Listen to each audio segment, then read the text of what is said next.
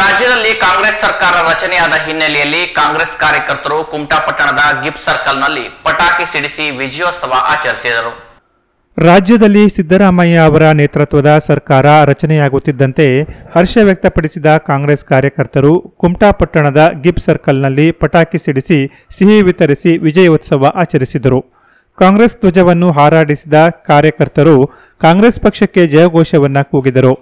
ಈ ಸಂದರ್ಭದಲ್ಲಿ ಮಾತನಾಡಿದ ಕುಮಟಾ ಬ್ಲಾಕ್ ಕಾಂಗ್ರೆಸ್ ಅಧ್ಯಕ್ಷರಾದ ಹೊನ್ನಪ್ಪ ನಾಯಕ್ ಮತ್ತು ಜಿಲ್ಲಾ ಪಂಚಾಯತ್ ಮಾಜಿ ಸದಸ್ಯ ರತ್ನಾಕರ್ ನಾಯ್ಕ್ ಇಂದು ರಾಜ್ಯದಲ್ಲಿ ಕಾಂಗ್ರೆಸ್ ಸರ್ಕಾರ ಅಸ್ತಿತ್ವಕ್ಕೆ ಬಂದಿದೆ.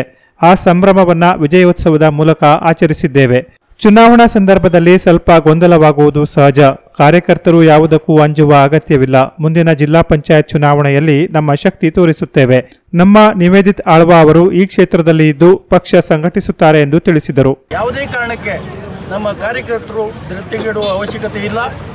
ಮತ್ತು ಇಲ್ಲಿ ಪಕ್ಷವನ್ನು ಪುನಃ ಸಂಘಟನೆ ಮಾಡ್ತೇವೆ. ಮತ್ತು ಇಲ್ಲಿ ನಾವು ಪುನಃ ಪಕ್ಷ ಸಂಘಟನೆ ಮಾಡಿ, ನಮ್ಮ ಎಂ ಎಂ ಪಿ ಚುನಾವಣೆ ಬರುವ ಸಂದರ್ಭದಲ್ಲಿ ನಾವು ನಮ್ಮ ಶಕ್ತಿ ಏನಂತ ತೋರಿಸ್ತೇವೆ. ಇದಲ್ಲದೆ ನಮ್ಮ ರಾಜ್ಯದಲ್ಲಿ ನೂರ ಮೂವತ್ತೈದು ಎಂ ಎಲ್ ಎಗಳು ಆಯ್ಕೆಯಾಗಿದ್ದಾರೆ. ಇವತ್ತು ಪ್ರಮಾಣ ವಚನ ಮಾಡ್ತಾ ಇದ್ದಾರೆ. ನಮ್ಮ ಮುಖ್ಯ ರಾಜ್ಯದ ಮುಖ್ಯಮಂತ್ರಿಗಳು ಮತ್ತು ನಮ್ಮ ರಾಜ್ಯದ ಅಧ್ಯಕ್ಷರಾದ ಡಿ ಕೆ ಶಿವಕುಮಾರ್ ಅವರು ಇಬ್ಬರು ಒಟ್ಟಿಗೆ ನಿಂತು ನಮ್ಮ ಎಲ್ಲ ರಾಜ್ಯದ ಪ್ರಣಾಳಿಕೆಯಲ್ಲಿ ಏನು ಕಾರ್ಯಕ್ರಮ ಕೊಟ್ಟಿದ್ದಾರೆ ಅದನ್ನು ಗಮನದಲ್ಲಿಟ್ಕೊಂಡು ಎಲ್ಲ ಕಾರ್ಯಗತಗೊಳಿಸ್ತಾರೆ ಅಂತ ನಾನು ಹೇಳಲಿಕ್ಕೆ ಬಯಸ್ತೇನೆ. ಮತ್ತು ಮುಖ್ಯವಾಗಿ ನಮ್ದು ಯಾವುದೇ ಕಾರ್ಯಕರ್ತರು ಹೆದರುವಂಥ ಪ್ರಶ್ನೆ ಇಲ್ಲ. ಈಗ ಚುನಾವಣೆ ಏನು ನಡೆದಿದೆ ಅದು ಕೆಲವು ಸಲ ಏನೇನೋ ಆಗ್ತವೆ. ಆದರೆ ಅದಕ್ಕೆ ಹೆದರಬೇಕಾದ ಅವಶ್ಯಕತೆ ಇಲ್ಲ. ನಮ್ಮ ಅಭ್ಯರ್ಥಿಗಳು ಸಹ ಇಲ್ಲೇ ಬಂದು ಮನೆ ಮಾಡಿ ಇಲ್ಲಿ ಉಳಿತಾರೆ.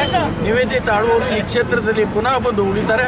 ನೀವು ಯಾರಿಗೂ ಅಂಜಬೇಕಾದ ಅವಶ್ಯಕತೆ ಇಲ್ಲ ಅಂತ ಹೇಳಿಕೆ ಬಯಸ್ತಾರೆ ನಮ್ಮ ಸಿದ್ದರಾಮಯ್ಯ ನೇತೃತ್ವದ ಮುಖ್ಯಮಂತ್ರಿ ಸರ್ಕಾರ ಇವತ್ತು ಸ್ಥಾಪನೆಗೊಳ್ತಾ ಇದೆ. ನಮ್ಮ ರಾಜ್ಯದಲ್ಲಿ ನೂರ ಮೂವತ್ತೈದು ಸೀಟ್ ಗೆಲ್ಲಿಸುವ ಮೂಲಕ ಕಾಂಗ್ರೆಸ್ ಸರ್ಕಾರಕ್ಕೆ ಭರ್ಜರಿ ಗೆಲುವನ್ನು ತಂದುಕೊಟ್ಟಿದ್ದಾರೆ. ಹಾಗಾಗಿ ನಾವು ಸಾರ್ವಜನಿಕ ಬಂಧುಗಳಿಗೆ ಪ್ರಥಮವಾಗಿ ಅವರಿಗೆ ಧನ್ಯವಾದ ಹೇಳುವುದರ ಮೂಲಕ ನಮ್ಮ ಸಿದ್ದರಾಮಯ್ಯ ನೇತೃತ್ವ ಸರ್ಕಾರ ಎರಡು ನೂರ ಎರಡು ಸಾವಿರದ ಹದಿಮೂರರಿಂದ ಎರಡು ಸಾವಿರದ ಹದಿನೆಂಟರ ತನಕ ಆಡಳಿತ ಮಾಡಿತ್ತು. ಐದು ವರ್ಷದ ಒಂದು ರಾಜಕೀಯ, ಏನು, ಅಭಿವೃದ್ಧಿ ಹರಿಕಾರ ಅಂತ ಹೇಳಬೇಕು.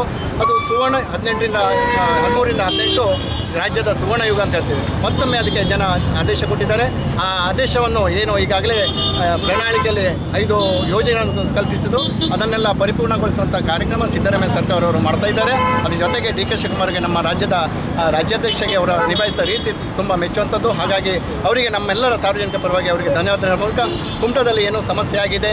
ಆದರೂ ಕೂಡ ನಾವೆಲ್ಲರ ಕಾರ್ಯಕರ್ತರು ಒಟ್ಟಾಗಿ ನಮ್ಮ ಸರ್ಕಾರ ನೇತೃತ್ವದ ಎಲ್ಲ ಯೋಜನೆಗಳನ್ನು ಸಾರ್ವಜನಿಕರಿಗೆ ಮುಟ್ಟಿಸುವ ಮೂಲಕ ಎಲ್ಲರ ಅಭಿಪ್ರಾಯವನ್ನು ಮತ್ತೊಮ್ಮೆ ಈ ವಿಜಯೋತ್ಸವದಲ್ಲಿ ಕುಮಟಾ ಅರ್ಬನ್ ಬ್ಯಾಂಕ್ ಅಧ್ಯಕ್ಷರಾದ ದೀರು ಶಾನ್ಬಾಗ್, ಜಿಲ್ಲಾ ಪಂಚಾಯತ್ ಮಾಜಿ ಸದಸ್ಯ ಪ್ರದೀಪ್ ನಾಯಕ್, ಪುರಸಭೆ ಸದಸ್ಯರಾದ ಎಂಟಿ ನಾಯ್ಕ್, ಪ್ರಮುಖರಾದ ಯಶೋಧರ ನಾಯ್ಕ್ ಆರ್ಎಚ್ ನಾಯ್ಕ್, ತಾರಾಗೌಡ, ಸುರೇಖಾ ವಾರೇಕರ್, ಇಕ್ಬಾಲ್ ಶೇಖ್, ಶಾಂತಾರಾಮ್ ನಾಯ್ಕ್, ಕೃಷ್ಣಗೌಡ, ಫ್ರಾನ್ಸಿಸ್ ಫರ್ನಾಂಡಿಸ್, ನಾಗರಾಜ್ ನಾಯ್ಕ್, ಚಿತ್ರಗಿ ಯೋಗಾನಂದ ಗಾಂಧಿ, ಸಚಿನ್ ನಾಯ್ಕ್ ಇತರರು ಇದ್ದರು.